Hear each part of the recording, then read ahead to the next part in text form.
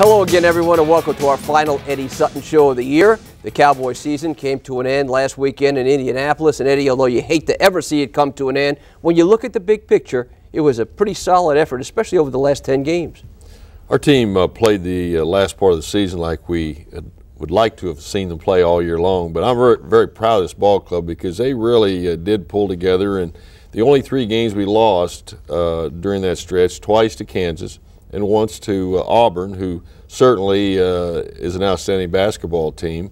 Uh, had a great win over Syracuse, and of course, back into the Big 12, beat Oklahoma, beat Texas, and uh, uh, I think that kind of soothes some of the mm-hmm. wounds mm -hmm. that uh, we had absorbed in some of the earlier games. So the ball club finished 23 and 11, and we've got a chance, I think, a year from now to be a, a good basketball team. Uh, four returning starters, seven out of eight people coming back, but we are going to miss Adrian Peterson. At 16 and 8, this team really showed the character that it had. Well, I think uh, there was a point in the season when we came out of Colorado that uh, a ball club that didn't have character and uh, didn't have great leadership on the part of some of our players could have gone in the tank and uh, never gotten uh, to the uh, Big 12 championship game and certainly not to the, the big dance. And, you know, we've been to the NCAA tournament seven out of the nine years mm -hmm. I've been here and have always won a first round game.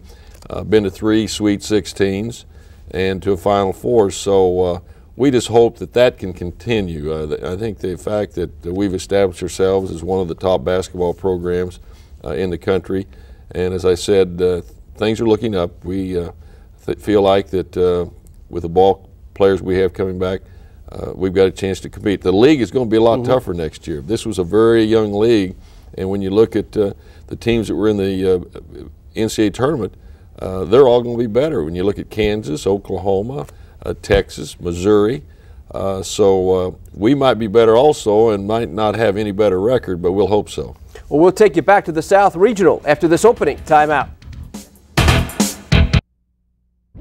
Welcome back to the show. Hey, the RCA Dome, Indianapolis, what a great college setting, and Syracuse, what a tough opening round opponent. You know, the one thing I told our squad after we were beaten by Auburn, let's don't be an eight or nine next year if we're good enough to get in the, Isn't that the, the big dance because that's a tough, tough uh, draw in that the team you play is probably every bit as good as you are, and then if you do win, then you have to take on the number one seed. Last year it was Duke, this year it was Auburn, but uh, it is a great setting. Uh, of all the domes uh, that I've coached in, I think this is the best one for the fans. And I think the background's pretty good as far as uh, shooting lines for your players. No, you wanted, we got off on the right foot right out of the gate. Pete hit a couple of threes, kind of set the tone for us. Well, Adrian and uh, Desmond both were sensational in the two games up there. I think one of them had 52 points uh, and the other one had 48. Mm -hmm and uh, I think they really opened a lot of eyes. And there's no doubt that uh, Adrian Peterson improved his stock as far as uh, what he will do in the future. But uh, Syracuse is a good basketball team. You know, any team, time you play somebody in the Big East, and Jim, Jim had his teams in the NCAA uh, so many times, but uh, we led almost the entire game. In fact, I think the only time that uh, they ever even tied the score was late in the ball yeah, game. And then Joe Adkins hit, hit a big shot mm -hmm. for us. But uh, Pete uh, was got us going, and then uh, everybody uh, really uh, contributed. Montonati came in and played a solid game. I think he had 10 points in the ball game. Doug continued to do a great job in running the ball club. 11 assists, two turnovers. Yeah, he was splendid in getting the ball to the guys with a hot hand. As you see Webber, Webber was pretty active in this game as well, although the numbers didn't knock your socks off. The fact is he was involved in a lot of plays. I think he drew three charges in this mm-hmm. game. Mm -hmm. He uh, didn't score a lot of points, but he had a tough assignment in uh, Thomas, a young man from Booker T. Washington, who really has developed into an outstanding college basketball player. But you look at the numbers, they had eight offensive rebounds, and you say, hey, well, that's not great. But let me tell you, this team here was in double digits all year long in offensive rebounds. The two teams we played were both outstanding rebounding ball clubs, and uh, that was the number one uh, assignment I told our ball club. One of the, the goals is don't give them a lot of second opportunities. And in this ball game, they only had eight offensive rebounds. Uh, when we played Auburn, they averaged 20 offensive rebounds. I think we held them to 14. So defensive board play was great. Look at this great effort by Montonati. Denied once, twice, three times, went back and tipped it in. I gave him a do better talk at halftime. You know, at halftime he had not played very well, and his mother had come to see him for the first time this year, had driven down from Michigan. And I told him at halftime, I said, if you mother, if you play as poorly the second half, she did the first half, she's not going to talk to you. But boy, he came out and did a great job. And there's the shot after they had tied the, the score. Big shot right there with it. Joe's hit some big shots in his career here at Oklahoma State. And, you know, he, he didn't play as well the last third of the season mm -hmm. because of the ankle injury. But uh, hopefully we'll get that thing healed up and he'll be back at full speed next year. And you don't advance in the NCAA tournament unless you can shoot free throws under pressure, and the Cowboys put this one away from the free throw line. We shot uh, very well, 11 out of 15, but we hit them all, all of them right down the stretch. Final score 69-61. Uh, just a, an outstanding performance by our ball club.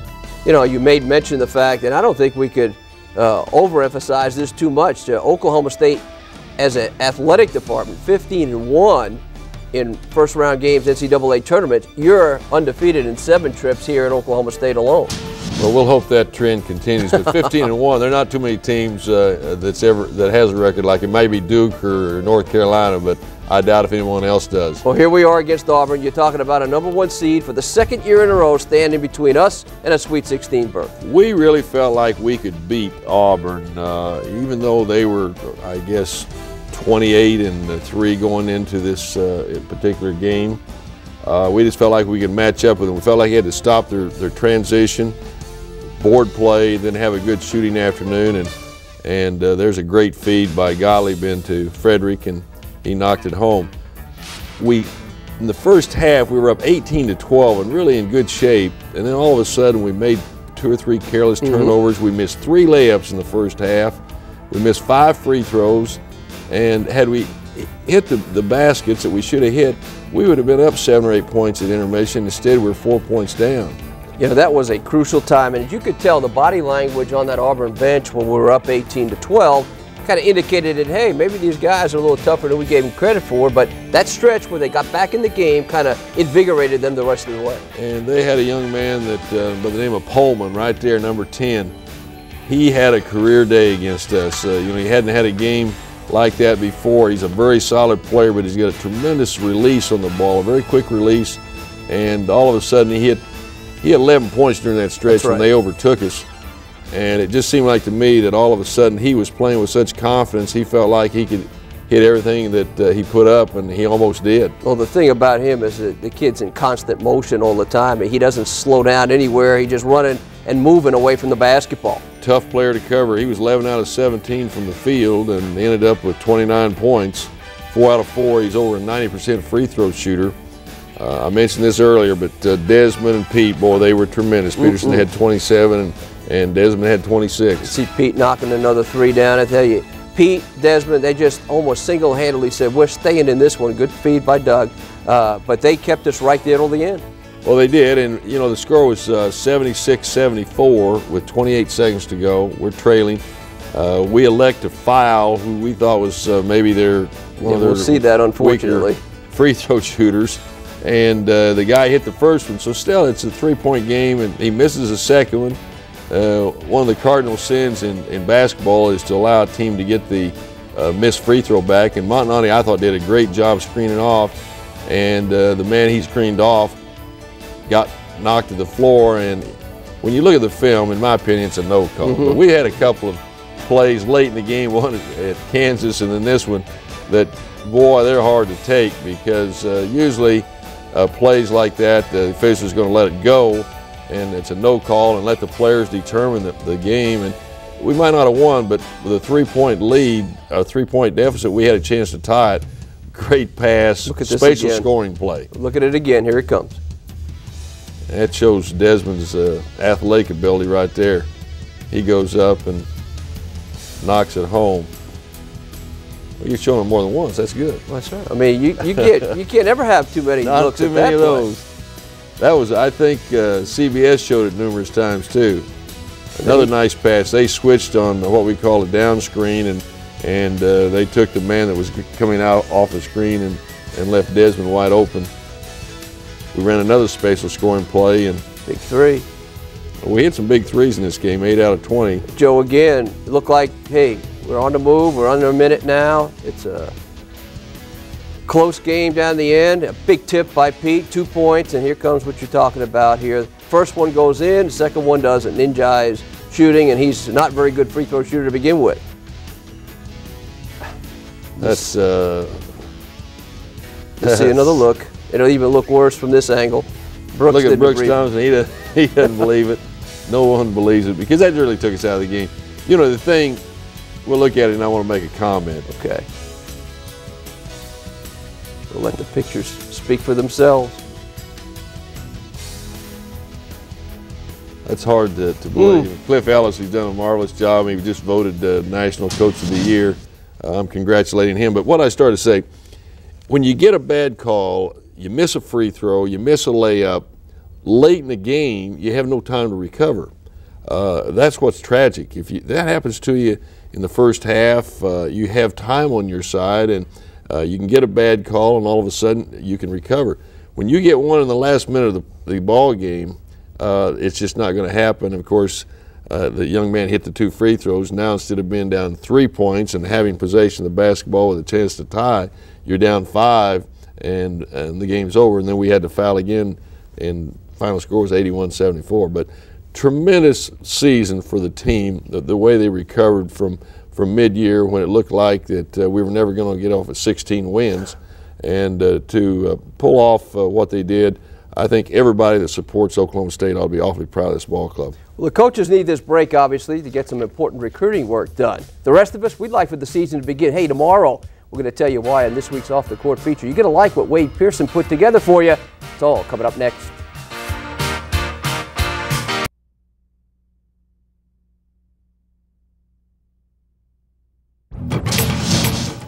As mentioned, Oklahoma State returns a solid nucleus next season. Four starters and seven of this year's top eight players will be back. No question, Adrian Peterson will sorely be missed, both on and off the court.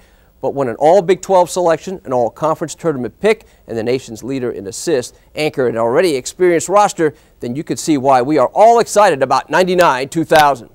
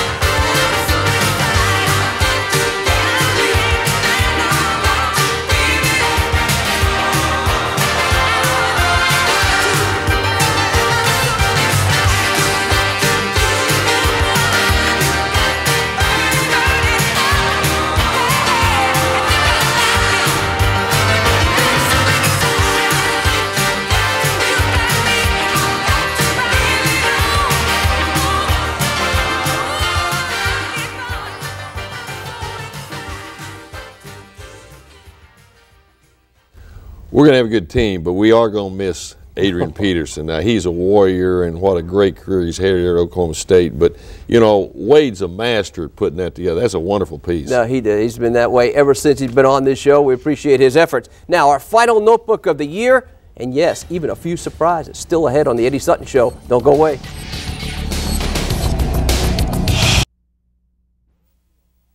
We are back. Let's open the notebook now for the final time this season. Filling the holes, recruiting. What are you looking for?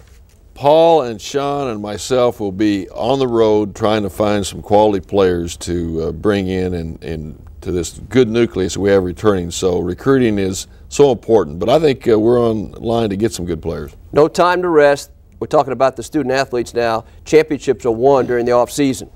Well, I've already told our young men that uh, after spring break, they need to get back, get in that weight room, do some individual uh, work, and improve their game. And if they do that, if everyone does, the team will be better.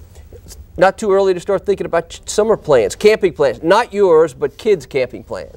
One of the highlights of uh, my year is when I have an opportunity to work with uh, youngsters at our basketball camps. You know, I've had them for 40 years, and uh, if anyone's interested in sending their son or their grandson, call our basketball office, and we're going to have all of our ball players uh, helping with the camp. Well, this week's internet question from okstate.com is presented by Southwestern Bell. It has to do with the NCAA tournament. I think this may happen sometime, Greg. Uh, it's a great uh, sporting event. Many people think it's the best sporting event we have in our country. The big dance is always uh, something special. You know, we would be remiss if we did not look back on the prediction of the year but I'll tell you what, in every athletic season, there's highs and lows. And if there's any one person that I'd want to lead my team to the end of the year to be Coach Eddie Sutton, I think at the end of the year, Kansas City, you're going to see the Jayhawks and the Cowboys in the championship game. You can take that to the bank. Well, Dave's one of my best friends, the associate athletic director. You know, he never played a game of basketball. He was a national champion uh, champion in wrestling, but believe me, that was a lucky guess. Hey, we had a lot of fun again this year. We did have. And it was a good show. We appreciated everybody being with us during the season.